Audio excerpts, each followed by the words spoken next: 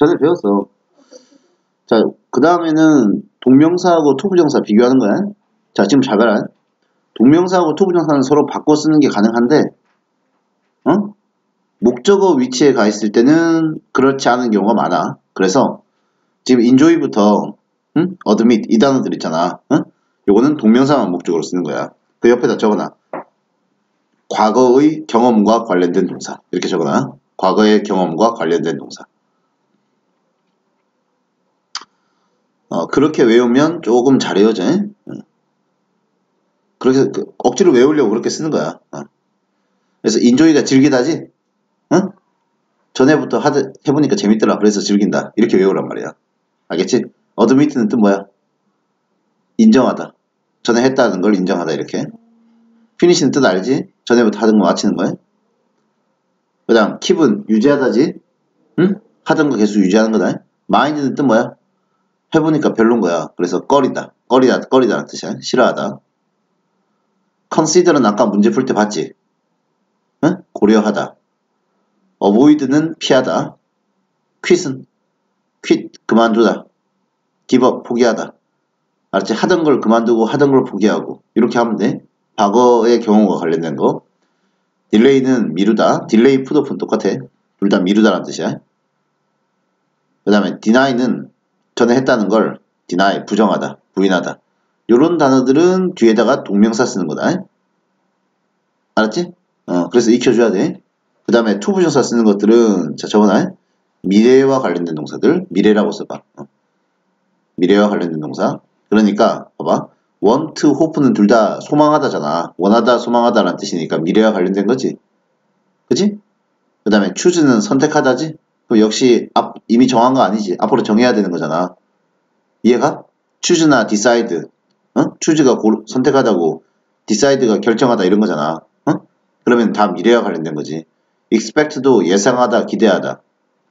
그죠? plan 계획하다, promise 약속하다, 해줄 걸 약속하다 뭐 이런 식으로 이해가지? refuse는 뭘 해야 되는데 거절하다. 아직 안 한 거거든 그거를. 어? 그리고 pretend 뭐뭐인 척하다. 이런 것들은 투부정사만 써야 되는 거다. 알았지? 자, 그 다음. 어, 둘 다 쓰되, 둘 다 쓰되 의미 차이가 별로 없는 경우는 이거야. 이렇게 기억하면 돼. 둘 다 사용하는 동사들. 사랑하, 좋아하다, 싫어하다, 그 다음에 시작하다, 계속하다. 이런 단어들.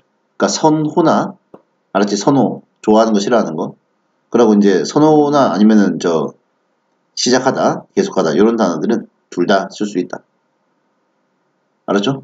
그 다음에 시험에 잘 나오는 건 이것들이 잘 나와요. 잘 봐요. forget, remember. 잘 봐라. 자, 아까 동명사는 과거의 경험이라 그랬지. 그렇게 적어 놨었지.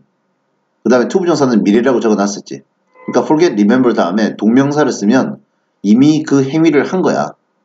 어? 이미 어떤 행위를 했는데 그 했다라는 사실을 기억하거나 깜빡하는 거야. 근데 투부정사를 쓰면 아직 그 행위를 안 한 거야. 어떤 행위를 해야 되는데 그걸 기억하거나 깜빡하는 거란 말이야. 이해가죠? 알았지? 어, 동명사 쓰면 이미 그 행동을 한 거다. 근데 투부정사를 쓰면 아직 그거 안 한 거야. 오케이? 어. 자, 그 다음에 try는 ing 쓰면 시험 삼아 해보는 거고, 투부정사 쓰면 노력하는 거고. 오케이? 자, 그 밑에 stop 같은 경우는 동명사만 목적으로 쓴다. 투부정사를 쓰면 목적으로 쓰인 게 아니야. 이건 부사적 용법으로 뭐뭐 하기 위해 다른 하던 일을 멈추다가 돼. 알았지? 10번 예문 봐봐. 우리는 배가 we were hungry, we are hungry, so we stopped to eat lunch. 그래서 우리는 점심 먹으러 잠깐 멈췄단 말이야. 다른 하던 걸 멈춘 거란 말이지. 이해가지? 그 행위 자체를 멈추는 건 ing 써야 돼. 9번 봐. A friend of mine recently stopped eating meat. 내 친구, 내 친구 하나가 최근에 고기 먹는 걸, 그지? 어, 멈췄다는 거 아니야. 고기를 이제 안 먹기 시작했다는 거 아니야. 이해가죠? 어, 그래서 행위 자체를 멈추는 거는 동명사고 투부정사는 목적 아니다. 응? 부사적 용법이야. 뭐 뭐 하기 위해서 이렇게 해석이 되는 거야. 알았지? 음. 그리고 하나만 더 적어놔. 어. 자, 그 책에다가 하나만 더 적어놔. 이것도 잘 나오니까. regret 있지? 이게 알고 있는 뜻이 뭐지? 후회하다잖아? 근데 이제 동명사를 쓰면 과거의 행위야. 뭐뭐 한 것을 이미 했는데 뭐뭐 한 것을 후회하다 이런 의미야. 근데 regret 쓰고 투부정사를 쓰면 아직 이걸 안 한 거거든. 응? regret 쓰고 투부정사를 쓰면 아직 이 행위를 안 한 거야. 그래서 유감스럽지만 후회하겠지만 뭐뭐 하겠다라는 이런 의미로 기억을 해두면 돼. 알았죠? 자, regret 쓰고 동명사 쓸 때랑 regret 쓰고 투부정사 쓸 때랑 이렇게 기억 저기 해가지고 기억하면 돼. 되겠지? 어, 오케이. 자, 오른쪽에 또 문제 풀어보고 아까 하던 거부터 먼저 하고 그 다음에 이것도 풀고 마무리하자. 알겠지?